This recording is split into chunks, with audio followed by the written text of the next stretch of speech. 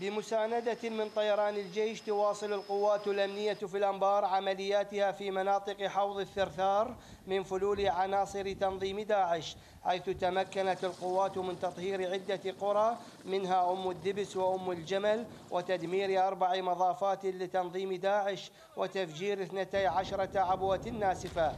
ويؤكد قادة القطاعات المقاتلة أن العملية تستمر حتى تطهير جميع القرى وتأمينها مشيرين إلى أن التقلبات الجوية التي تشهدها المنطقة في الوقت الراهن لم تؤثر على سير العملية. تم تطهير المناطق من فلول بقايا داعش الإرهابي آه، كل من أم دبس وأم جمل أم المد قرية المناخ وقرية شطيحية وكذلك قرية محمد البتال وعبيد الرجاء تدمير وتفجير من قبل كتائب الهندسة آه، متمثلة بكتيبة هندسة ميدان قيادتنا 12 آه، عبوة ناسفة. أيضا اللي خلال العملية كان المحور مالنا متمثل بالمحور الشمالي اللي شمالي اللي انطلق من منطقة السكرانات.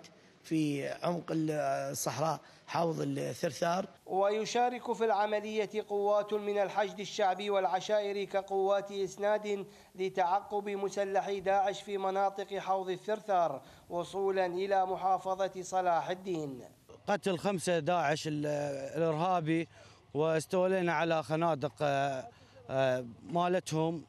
وعجلات اللي حرقناها لهم اثنين. العمليات الاستباقية على ضوء معلومات استخبارية دقيقة ومصادر وبإسناد من طيران الجيش آه، عمل آه، ضرب أهداف استباقية لعناصر داعش الإرهابية والاستيلاء على أكثر الأسلحة والمعدات. مراقبون بينوا أن تحركات داعش ستتصاعد وتيرتها خلال الفترة المقبلة سيما بعد الحراك السياسي للحكومة الاتحادية مع دول إقليمية داعمة لأمن البلاد مما يتوجب تكثيف القوات عملياتها الاستباقية بضرب أوكار داعش لتأمين المحافظات الغربية العراق الآن بدأ بحراك سياسي لا سيما مع المحيط العربي فتنظيم داعش يحاول أن يقطع الطريق على الحكومة العراقية لمنع اعاده الأمن والاستقرار لا سيما في محافظة الأنبار.